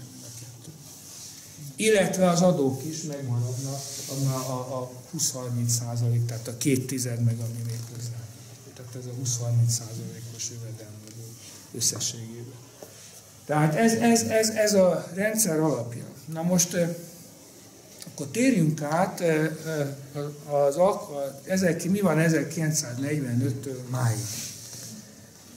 Na most először is ugye van itt egy, a, a, a, az alaptörvény nagyon helyesen ugye azt megállapítja, hogy magyar állam alkotmányos folytonsága a Szent Koronához kötődik. Ez azt jelenti, hogy az a törvény, ami kötődik a Szent Koronához. Azt is megállapítja, hogy a történeti alkotmány, a, jogfolytonosság a nem, nem ismeri el, tehát, fent, tehát vissza akarja állítani, hogy a jogfolytonság megállapítja, megszakad a 44 márciusi megszállással, de nem ismeri el. Tehát azt mondja, hogy helyre akarja állítani. Tehát vissza akar térni rá. És ugye a, a, ez az, a nemzeti hitvallásban van, és az, alapvetés, az alapvetések, az a második fejezet pedig az van, hogy a jogrend nem csupán a mire alapozódik, és a bíróságok jogszolgáltatása is mire alapozódik. Egyrészt a alaptörvényre, a nemzeti hitvallás, az a preambulum, de itt jogi normává teszi, nem csak egy szépészeti bevezetőnél, illetve a történeti alkotmány vívmánya. Ez azt mondja, hogy az, az elmúlt 20 év jogállam és rendszerét össze akarja boronálni a történeti alkotmány 800 vagy 1000 évével. Ez nagyon szép, és ez így jó, csak, csak a dolog az, a probléma, hogy már előreugrok, aztán utána a részleteiben mondom. A probléma az, hogy, hogy ez nem így történik. Tehát eh, se a jogalkotásban, se a jogalkalmazásban, de még a jogi oktatásban is. Tehát a Katolikus Egyetem tankönyvben az van leírva, ami új van, HVG-be adták ki. Jelenző. Ami új van az alaptörvényben, a korábbi 89-ben alapvetően módosított 42, azt nem kell figyelni. Ez így le van írva a alkotmányjogi tankönyvben.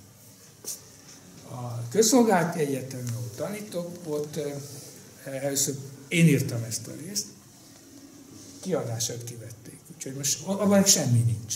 Tehát erről ez, tehát az van, hogy van ilyen, hogy nemzeti hitvallás, alapvetés, meg visszautalás van az emberi jogoknál helyesen, de az egész leírva a jogfolytonság, stb. azt utolsó pillanatban kiveti. Tehát az még jobb, mert ott semmi nincs.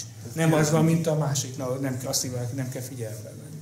Tehát ez egy nagyon-nagyon, és miért ilyen nehéz ez a helyzet, és most ezt akarom elmondani. Ugyanis, hát ugye a 89, a 2012. januárjáig hatályban lévő 49-es alkotmány, amit aztán sokszor módosítottak, alapvetően 89-90-ben, egy modern jogállamiság kritériumnak megfelelően, ugye egy, egy, egy alapvető probléma mindjárt felmerült, amivel évjátig nem is szabadott igazán beszélni. De most már benne van az alaptörvényben, tehát most már nem lehet nem beszélni, de mégse tanítják. Tehát a következő a probléma, hiába van benne az alaptörvényben, hogy hát ugye egyrészt ez a törvénytelen a rendszer, 49-ben. A szovjet megszállók oktroját kényszerített alkotmány. És még 89-ben is törvénytelen a rendszer, mert még tart a szovjet megszállás, de még hagyján ugye, ugye diktatúra van. Tehát duplán törvénytelen a rendszer, hiszen maga a rendszerváltásnak is az az ideológia, hogy számoljuk fel a diktatúrát. Na most a diktatúra országgyűlése különböző paktumok alapján megállapítja a 89-90-ben az alkotmánymódosító szöveget. És utána a népszuverenitás épített modern rendszerben nem, ez, ez, a, ez még jó, jó. Valami átmenet kell. Mindig, a törvényes új hatalmat át, visszatér, akkor az első kapavágás után még az előző törvénytelen hatalom teszi meg. Ez normális. De amikor már törvényes lesz a hatalom, akkor a, a legitim szervek, ha van király, akkor király és a nemzet együtt, ha nincs király, akkor a nemzet szabad választással országésben megállapítja utólag, hogy elfogadja-e, vagy mit hagy, mit fogad el az előző rendszer át, jogszabályai. Tehát gyakorlatilag ugye a népszuverenitás alkotmányát a nép se közvetve, se közvetlenül nem fogadta el, nem erősítette meg 2011-ig. E, e, tehát, úgy, tehát ez ilyen nincs. Tehát ha azt mondom, a népszuverenitás vagy demokrácia, az még hagyján, hogy a, a törvénytelrendszer alkotja meg, De utólag, amikor már népszavazás, akkor már az új országgyűlésnek rá kell bólintani, igen, ezt akarjuk. De ez nem történt meg. Tehát jó, ez még a kisebbik probléma. Ez még a kisebbik probléma. A nagyobbik probléma az az, hogy ez a modern demokratikus rendszer a kommunista rendszerre tartja fenn a jogfolytonosságot. Nem a törvényes rendszerre. Magát törvényesnek tartja 90-91 után, de elfogadja előzményként a diktatúra alkotmányát. Magyarán utólag törvényesíti a törvénytelen. Ez itt a probléma. Magyarán hogy spondjánt rá mindenre. Tehát az államosítás vagyonmozgásaira ugyanaz a kör, ugye spontán privatizált, spondjánt rá, spondjánt az államadóságra, és az állam által elkövetett bűncselekmények, ami a törvénytelen rendszerben nem évülnek el, ezeket azt mondja, hogy elévült, hiszen utólag törvényesít rendszer. Tehát ez, ez egyedül itt Európa kettő, itt történik így meg. Tehát ez itt a, tehát nem az, hogy nem csak, hogy el, nem el a nép 90 után, hogy most mit hagy jóvá a módosításból, eh, akar-e királyságot például, vagy nem akar. Tehát mondjuk ez csak szélső, de vagy ezt kancelláriai típus rendszert akar-e, és ugye e vagy nem, hanem azt akarja az elnököt közvetlenül választott. Meg ugye volt egy népszavazás, kezdeményezés, amit megalapozottan tudom mondani, hogy meg elcsaltak is, és utána azt mondta az alkotmánybíróság, hoppá, hoppá, nem lesz az úgy jó, hogy a nép alkotmányos kérdésbe közvetlenül beleszól, és így, itt az alkotmánybíróság megint tett valamit, az, hogy érték, az értékeket kidobta, erről beszéltünk. De azt is azt mondta, hogy ő, ő fölötte van a törvényhozásnak. Mi, mit jelent ez? Hogy ugye a törvényhozás feladata, hogy az alkotmányt megszabja. Nem, ő azt mondta, hogy fölötte áll. De az alkotmánybíróságnak az azért az a feladata, hogy a, az alkotmány alatti jogszabályokat, törvényeket összevesse az alkotmánya, és ha alatta lévő jogszabályt alkotmányosnak tart, akkor megsemmisít. De nem az a feladata, hogy hozzáírjon az alkotmányhoz, vagy elvegyen belőle. Ilyen nincs a világon. Mert nem az a fel, nincs olyan felhatalma megoldása. De ők azt mondta, azt barátunk, hogy hát itt, ne, itt nem elég az írott alkotmány, van egy láthatatlan alkotmány, ami fölötte van. Ő látja, csak ő látja, meg akiket bevont a buliba, ők látják.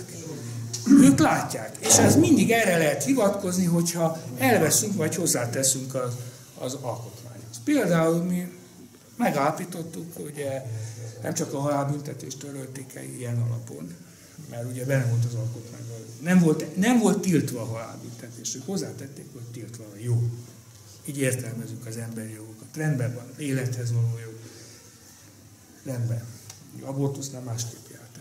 Tehát, de lényeg az, hogy hanem azt mondta itt is, hogy akkor hát Magyarországon nem tiltja az alkotmány, hogy népszavazást lehessen tartani alkotmányjogi kérdésekben, de mi megtiltjuk. Tehát, ez, tehát itt érdekesen alakultak a dolgok, törvényesítjük a törvénytelen, tehát spondját rá mindenre. Nem a népsza, nép útja, a nép, tehát se népszavazása, se országgyűlése nem erősítjük meg az alkotmányos átmenetből, hogy mit fogadunk el a demokratikus úton, mit nem, hanem még az alkotmánybíróság kreál egy gondolatot, amivel ő felülírja az alkotmányt. És ez volt a negyedik módosításnál az egyik probléma, ugye, hogy amikor elfogadták az alaptörvényt, eh, és 2011-ben hozzátettek egy átmeneti rendelkezéseket, amiben benne volt a kommunizmus bűneinek a lajstroma. És akkor azt mondták, hogy nekik ez nem tetszik, mert ők, ők csak kartályos rendszerben gondolkodnak. Tehát nekik csak az az alkotmány, amikor... Ez meg egy másik dokumentum. Tehát akkor mivel nem egy dokumentum, mivel ezt eltörlik. Ér, hatálytalanítják az alkotmány egy részét. Na hát ez, ez, ez, és ez a negyedik módosítás, azt már nem megtiltja ezt, és ugye a kommunizmus bűneit visszateszi, most már nem az átmeneti rendelkezés, hanem az alaptörvény részeként. Ez, ez, akkor ez, ez most itt győzött a törvényhozás, ugye úgy van, mint máshol a világon. Egy gond van, ugye egy zárójel, hogy a végrehajtási jogszabályokat nem tették oda a kommunista, meg a privatizációs bűncselekmények kommunista időszak első dolgaira. Tehát gyakorlatilag ott van szépen felsorolva, tehát a Biszku Bélán se az ott felsoroltak miatt, hanem háborús bűncselekmény miatt ítélik el, meg hát ugye, ugye megtagadta a, a kommunizmusban. Tehát nem az, tehát, tehát, tehát Szóval itt valami nagyon mély ellentmondás van. Tehát ugyanúgy, mint a házasságnál védjük a két különböző nemű kapcsolatát, amire a család lép, de a PTK megengedi az azonos neműekét. Tehát ugyanígy van a kommunizmus bűncselekmény, fel vannak szépen sorolva, csak végrehajtási jogszabály nincs hozzá. Tehát ez, tehát ez az egész, egész kettősség jellemzi az egész történetet. Na most de ez az előviszonyokat is mutatja, bízunk abban, hogy a nemzetközi helyzet megengedi, hogy az előviszonyok itthon is jobb irányba menjenek. Az alaptörvényt valóban elkezdjék alkalmazni a jogalkotásba, a jogértelmezésbe és az oktatásba is. Tehát, na tovább, mert én ezt optimista vagyok. Optimista vagyok, tényleg, tényleg. No tehát gyakorlatilag ezek voltak az alap dolgokja, és ez még marcipán a tortán, hogy, hogy a, az 1949 évi alkotmány 2012. januárjáig volt hatályban.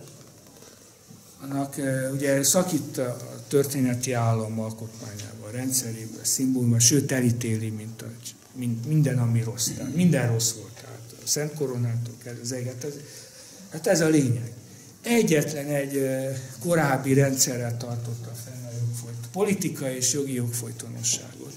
A 49-es alkotmány, de ezt önök kitalálják. Hát a Béla bácsival. Tehát gyakorlatilag 2012-ig mi nem a történeti alkotmánya voltunk folytonosak, hanem 49 és 19 19 voltunk folytonosak. Gondolják el.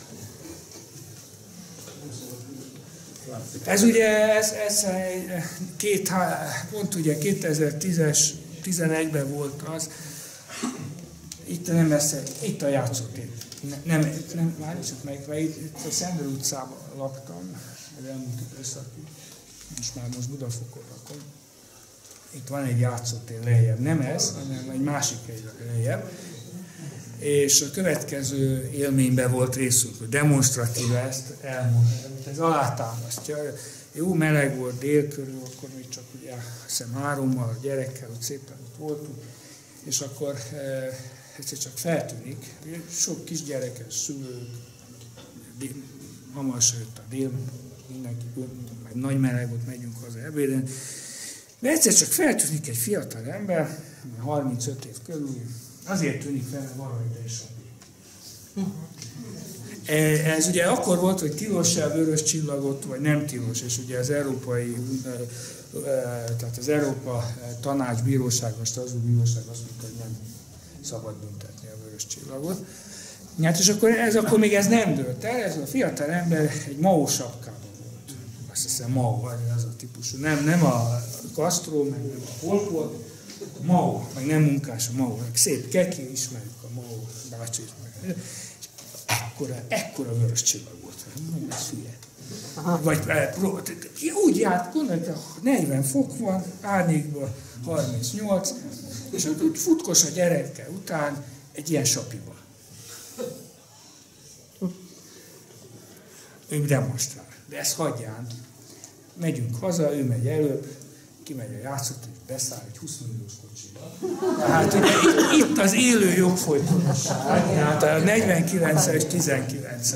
Tehát ez, ez az, ami, tehát erről, erről beszéltek itt, ezt kellett volna elmondani, és azt mondani, hogy ilyen volt az alkotmányos Na, tehát ezt, ezt a, ezen változtatta 2012, mert törvénytelnek nevezi a kommunista rezsim alkotmányosságát és helyre akarja állítani, tehát a, a kapcsol, ka, alkotmányi kapocsot megteremti a történeti alkotmány felé. Széles sarkba, tehát akár intézményszerűen, jogelvileg is alkalmazni kell az alkotmánybíróságnak is. Tehát, úgyhogy de hát ez nehezen megy. Tehát nehezen, mert ugye a, a valóság az, az mégis még 70 év meg kolonizációs függés. Tehát, hát ugye ez az elmúlt 20-25 év, ugye egész az Alkotmánybíróság a gazdasági alkotmányértelmezésének hiánya, mert mindig, amikor kellett volna, akkor nem értelmezte. Másrészt pedig a Nemzeti Bank, tehát a két, az, hogy az ország olyan helyzetbe került, alkotmányban két tény, tényező volt, illetve intézményszerűen, ami ezt biztosította. Ez az alkotmánybíróság alkotmányértelmezése, másik a Nemzeti Bank függetlensége. És tulajdonképpen ez a kettő oszlop, aminek az lett a következménye, és ugye ezért tragikus a dolog igazából, mert ugye azt mondja, az alkotmány, hogy védeni is tud. Ugye az alkotmány megnyithat a kapukat a kifosztásnak is. Tehát az alkotmány nem egy önmagáért való dolog. És ugye a kifosztásnak igen drámai mérőszámai vannak. Tehát a állami számvevőszék 2004-es jelentése azt mondja, hogy 89-es adatokhoz képest az akkori termelői vagyon 50% eltűnt. Eltűnt. A másik 50% felét úgy privatizálták, hogy abból csak veszteség van. De most, de az összeg, hogy ugye a, a, a, a, száz, hogy a, ugye a nagy multicégek úgy adóznak, hogy nem adóznak. Tehát ha fizetnek is be, akkor ezt az állam visszaadja nekik. Holott ők állítják el a bruttó jövedelem legalább 70%-át, tehát azt gondolják, hogy neki kéne 70%-ba az adókat is fizetni, nem a 30%-ot előállító fizeti a 100%-ot, tehát körülbelül na, 95 biztos, de ez, ez, ez 150 milliárd dollár kiszivattyúrását jelentett az elmúlt 25 évben. Az adósság szolgálat, eh, ami ugye gyakorlatilag úgy van megállapítva, és még a végén ezt el szeretném mondani, hogy ugye záróként, hogy 170 milliárdot mindenki. És ugye hát az offshore is ezeket hivatalosan mondtuk, hogy Magyarországon 264 milliárd dollárt vittek ki, ami azt jelenti, hogy bruttó számként is a világ egyik első. Oroszországon vittek ki 800 milliárdot. Lengyelországon 400 Brazíliában is kb. ennyi. De az ország méretére és gazdasági potenciál nézve ez világos, hogy mennyi pénzt loptak innen ki.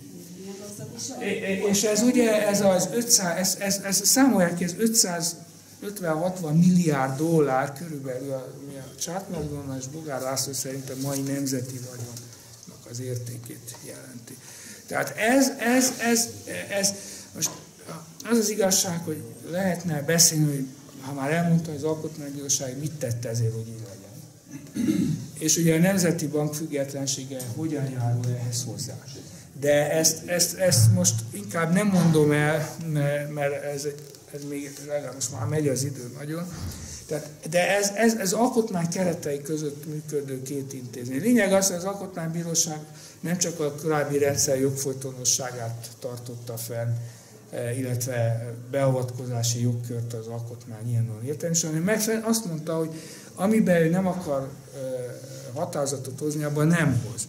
És ugye a Nemzeti Bank függetlensége az azt jelenti, hogy a népszuverenitás szervei nem nincsen befolyása a döntésre, már pedig ugye, már jól beszélünk erről, tehát ugye egy országban van egy fiskális, meg egy monetáris rendszer fiskális, amit a a költségvetés, ugye az adók, a járulékok, a jövedékek, amit az adó, a törvények alapján beszed az állam, és a költségvetési törvény alapján elkölt. Ez a fiskális rendszer. A monetáris rendszer pedig a, a, a magánbankok által adott hitel és annak a kamatai.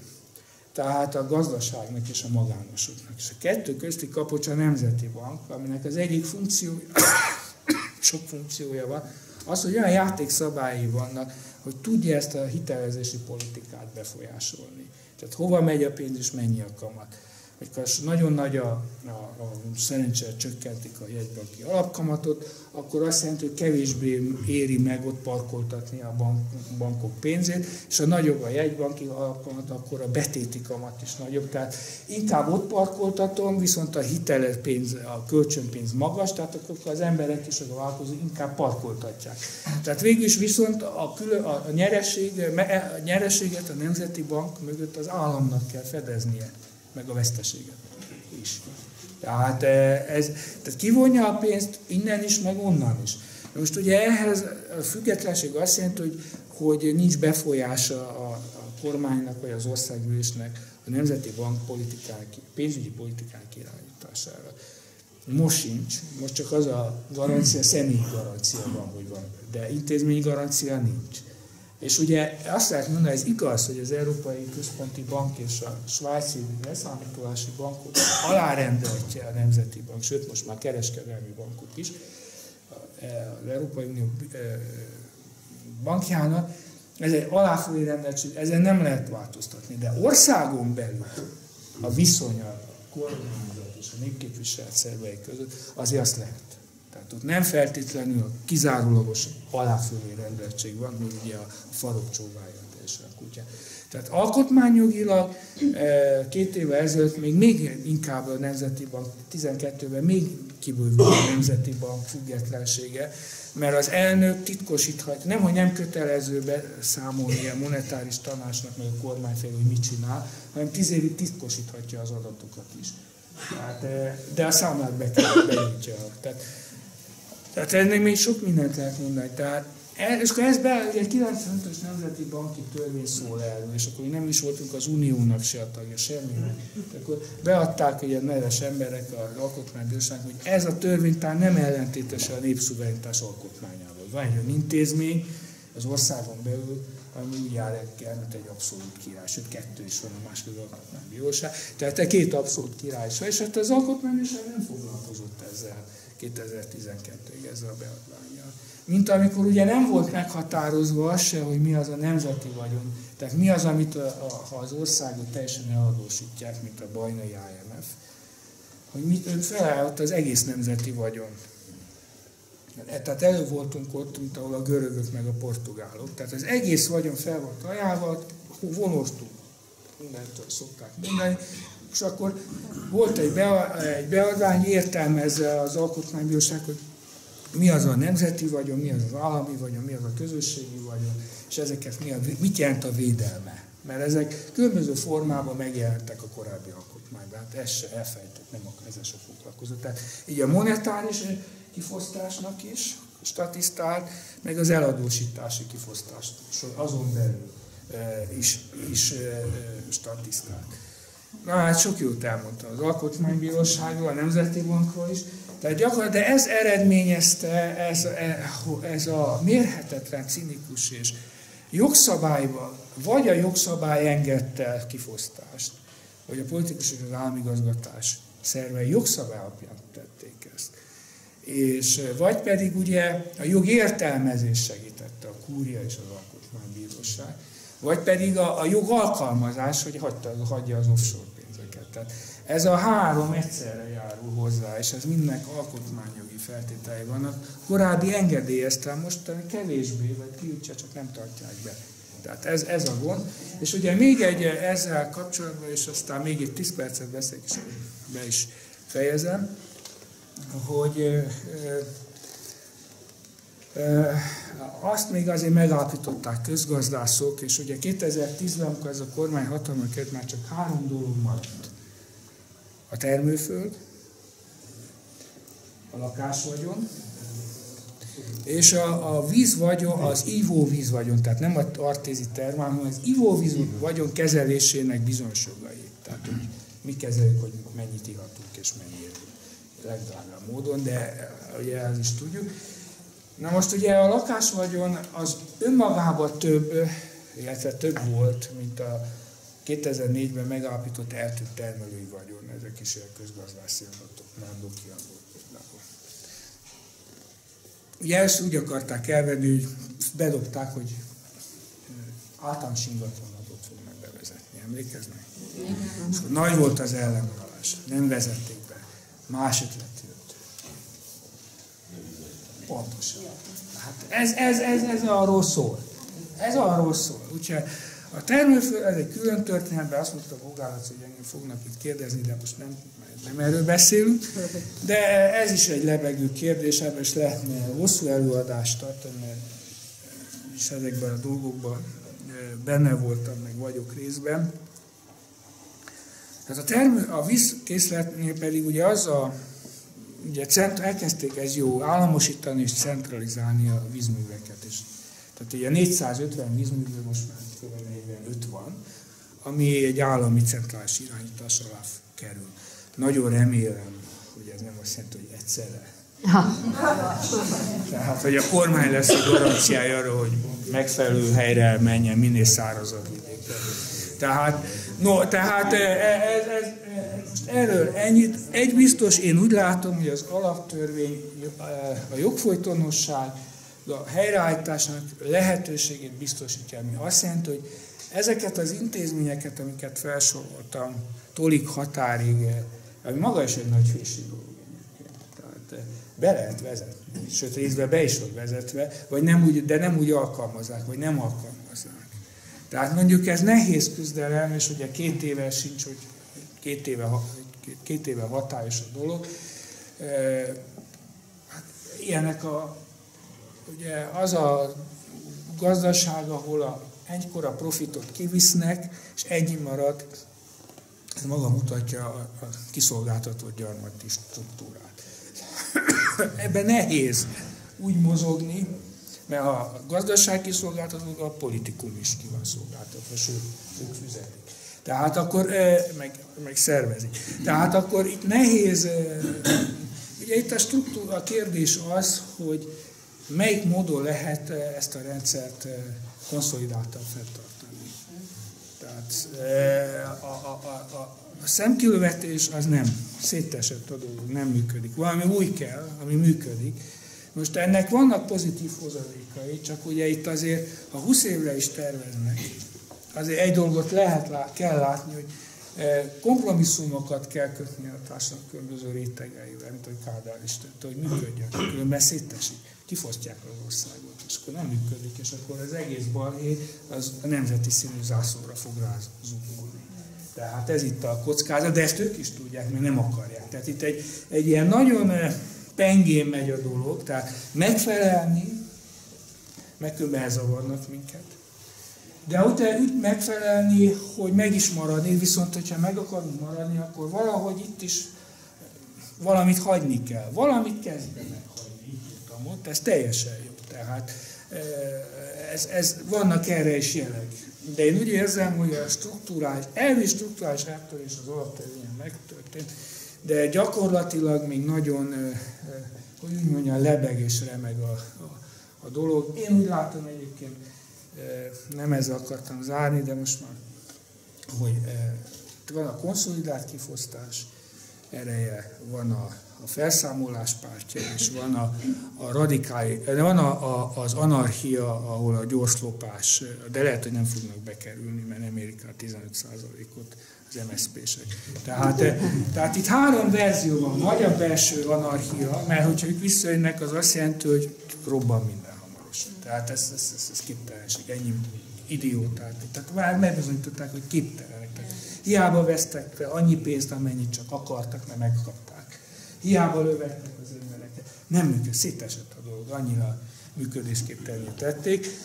Tehát ez csak akkor van, hogyha még akarnak nagyot hasítani gyorsan, és még felszámolni. A másik szerintem meg azt jelenti, hogy a, a, a felszámolás, és a harmadik a, a, a konszolidált kifosztás. Na most abba viszont akkor kompromisszumot kell tenni, hogy működjenek, mert ők is.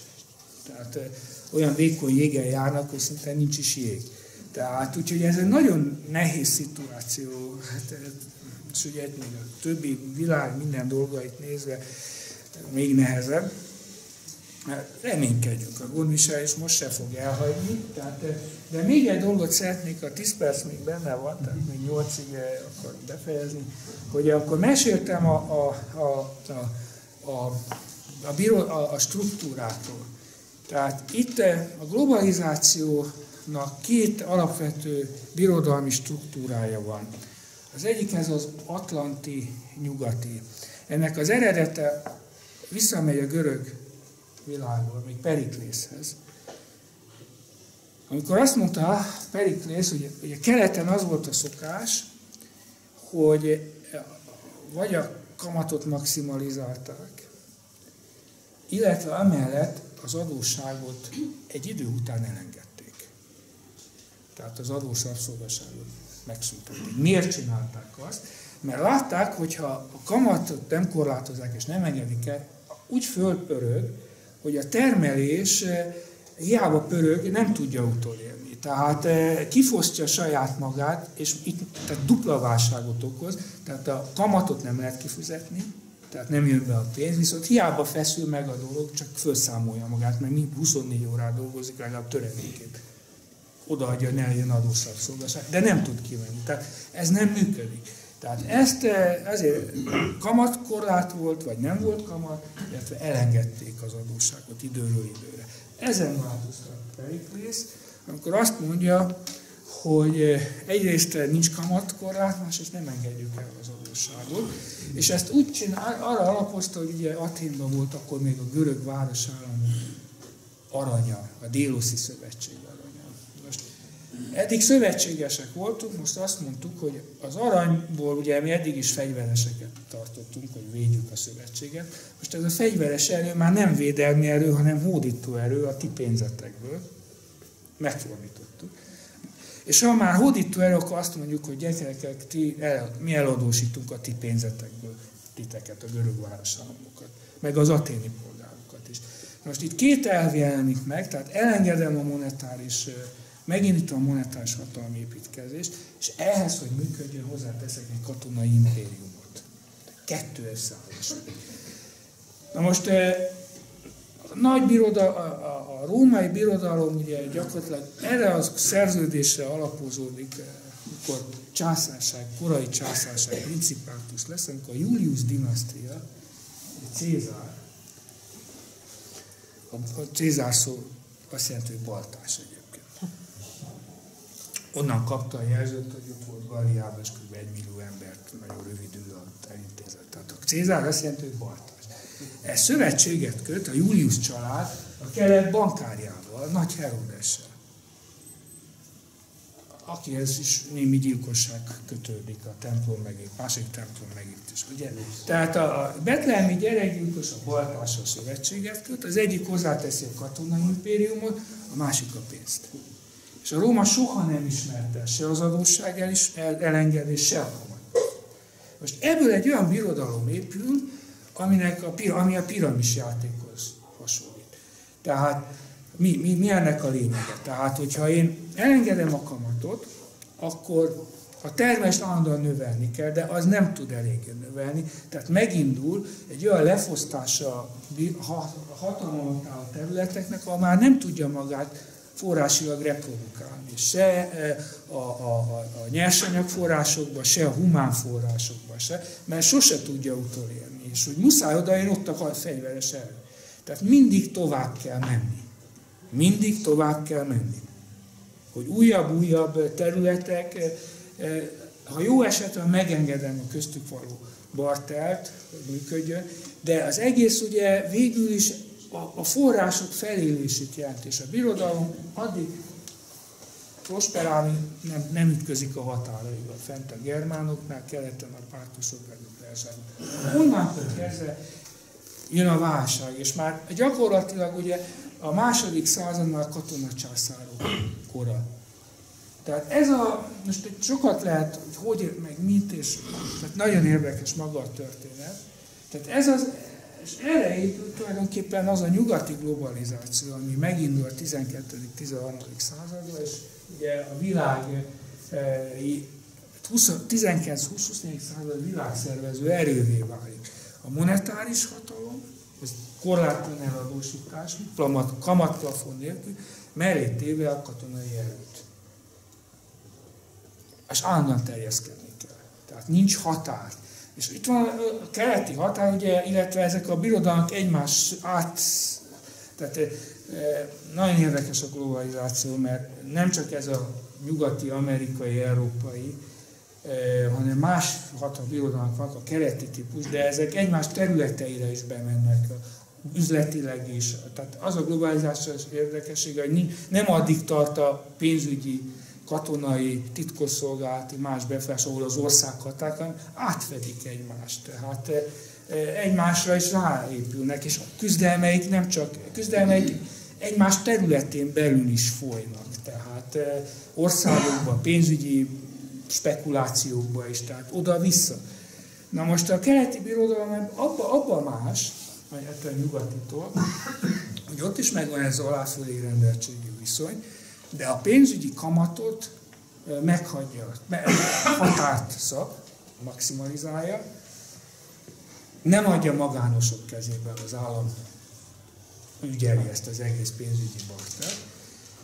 És az alávetetteknél, mivel van egy korlátja, nem, az alávetetteknél nem viszel mindent, annyit ott hagy, hogy önmagát reprodukálni tudja.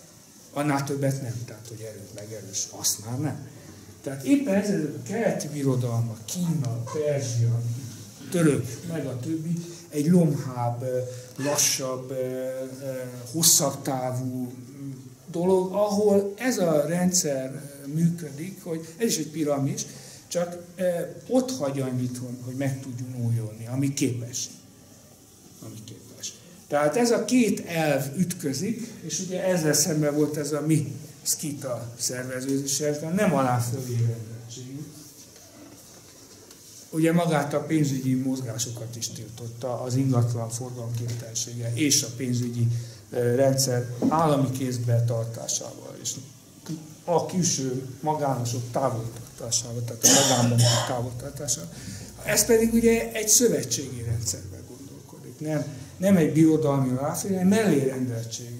Tehát az államhoz belül is ilyen kiszervezeti egységekből épül ki fel az egész, és a Szent országai, országán belül majd az országain belül és a külső szövetség. Tehát egy mellérendet itt olyan, mint a fogaskerekek, kicsi, nagy, egymást kiegészítő működés. Tehát ezt csak, ezt, ezt mi tudtuk, és az ős, más ősnépek. És pedig ez, ez az egyik, ami lá, elviselhetetlen.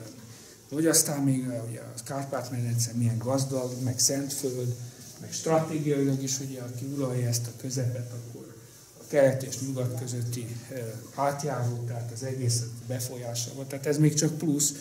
De ezek mind meg, csak azért mondtam el, hogy a Szent Korona országa, Hungária, ehhez a mellérendeltségi típussal épül. A korona segítette ezt teljesíteni, de mondom, ez, ezek a, ezeknek megvannak a régi honfoglaló, meg hun, meg avar, meg pártos és más szerveződési, több százezer éves múltja is.